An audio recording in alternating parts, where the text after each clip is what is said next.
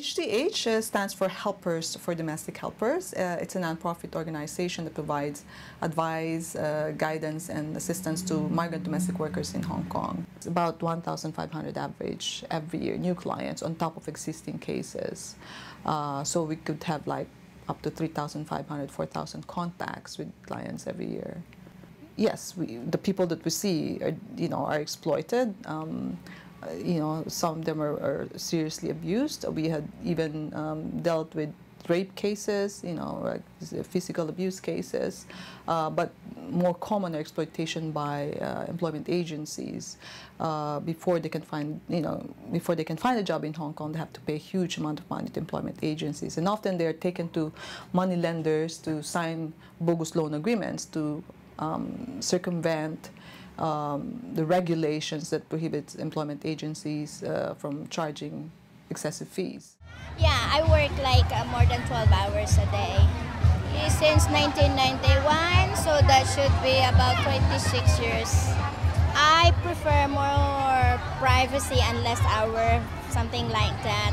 And I hope they could process the eight hours working here, which is the very usual for the other countries, which is we're hoping for that.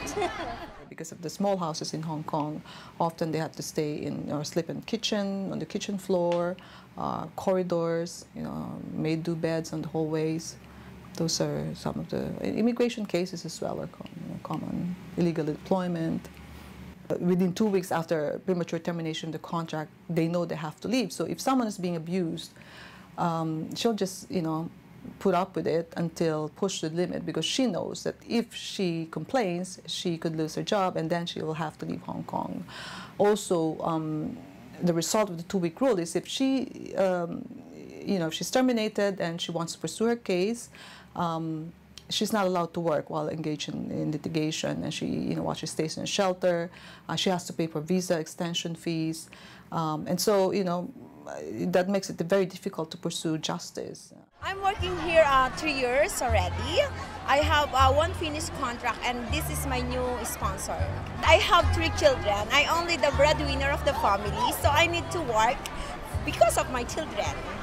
I want only the privacy and of course respect because some of the employer uh, they don't you know they don't understand what you feel just they will angry like that I don't have own room I I sleep with the the son of my employer, it's okay because it's there in the contract in the first place. But of course, uh, the pro the problem is they will go enter the room. It's you are asleep and then they are, especially the boy. So that one should be both political and, and cultural um, changes, of course. Political, you know, it comes to the policies like the two-week rule, the live-in requirements, um, maximum number of working hours, um, you know, enforcement of uh, or, or um, uh, better enforcement of existing regulations that uh, are supposed to, put, to protect them. Uh, but cultural changes as well. Um, you know, attitudes towards domestic workers should change. Um, there should be afforded respect and, and, dignity and, and be treated as, as workers, as employees. Um, you probably know about the ILO convention that now um, calls them as call them as workers, not not as helpers, and they should be called, you know, should be treated as such.